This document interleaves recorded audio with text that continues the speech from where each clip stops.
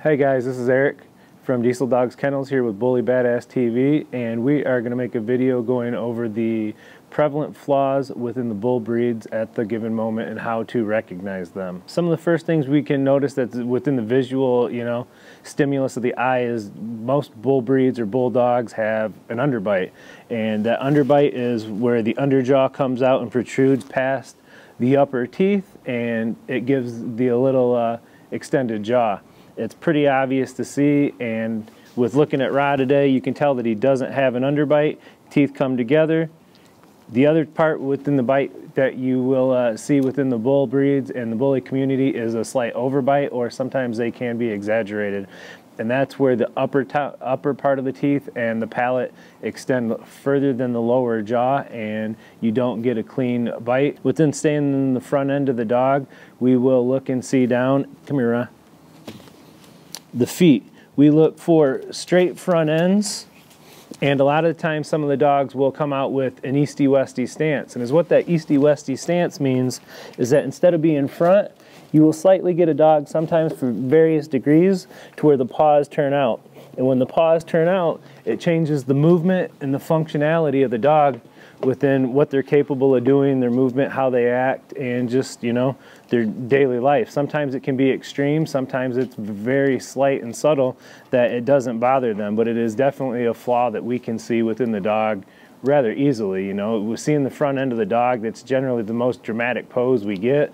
That's the shot that everybody looks for, and you know, it's definitely one that sticks out. And as we move back, you know, within the bull breeds, staying in the front end, we have it at times where you will get a short upper arm, and that's where the arm is shorter at the elbow than it is at the hip, so it gives the squattier uh, front end of the dog and it shows it to where it could be a little bit more chestier, a little bit more beefier in the front, but it, it is a definite um, shortening because is what that short upper arm turns into is being shorter in the front, it extends the rear higher. So it brings us into another uh, fault of the high rears. And high rears can happen for multiple reasons. And one of the first ones is the short upper arm. So it doesn't necessarily change the function of the dog. It can change movement and stuff depending on how severe it is, but it's not necessarily a flaw in which we need to you know, worry about to an extent of like the dog's health. But sometimes it does alter function. The other reason we get high rears is poor angulation. And with that poor angulation, we get straight stifles. Ra, come here. Ra. Good boy. And see, with Ra, this is something within my own program and my dogs that I work with. If you look at Ra, and when he's stacked up and as he's even aged, you can tell that he's a little straight in the rear, sometimes in the stifle. Angulation isn't always the best. If we bring it out, it looks a little better.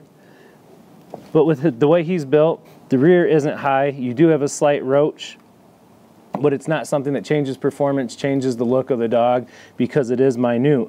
But when you have a short upper arm with some of the bull breeds, the straight stifles, poor angulation, we end up with the rear that's up here, a front shoulder that's all the way down here, and it does change the look of the dog, changes the top line. When we change the top line of the dog, we're going to change the overall function of what they're capable of doing, their movement, how they lay around, and just even, you know, how, how they can relax at times because it changes their movement. And within that, it's not necessarily the most, the best way for them to function. Um, the next, being in the rear, the next uh, flaw we can look at is at times you can get a gay tail. The gay tail is where it stands up more and folds over the back instead of sitting down low and flat like it should. And from the gay tail, depending on what the tail set is, we can end up with what is a challenge tail. And it sits differently than how it comes down in the croup of the dog. And it's not necessarily anything other than a cosmetic issue. The tail's not going to change the function and everything. And as long as it doesn't come into something like a kink tail, which we don't have here, Kinks are cosmetic flaws, definitely big within the bull breeds.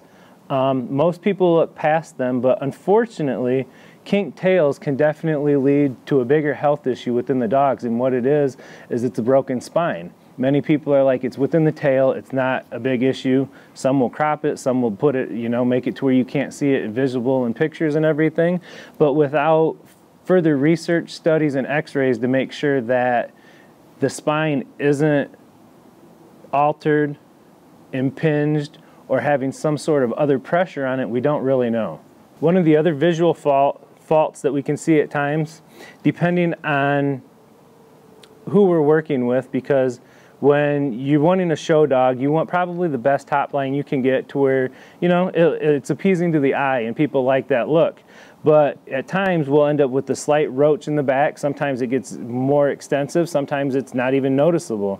But within that roach, it's a slight bend in the spine. Most performance people will not be bothered by it because it does not change the function of the dog as long as it's not severe. Some people like it even more because they think that it gives the dog a little bit more spring and a little bit more recovery within their working ability, whether you know your work is chasing hogs, pulling weight, doing protection work they take it as something that's not going to alter the performance. So it's not one of the flaws that many people that have dealt with the roach back want to change.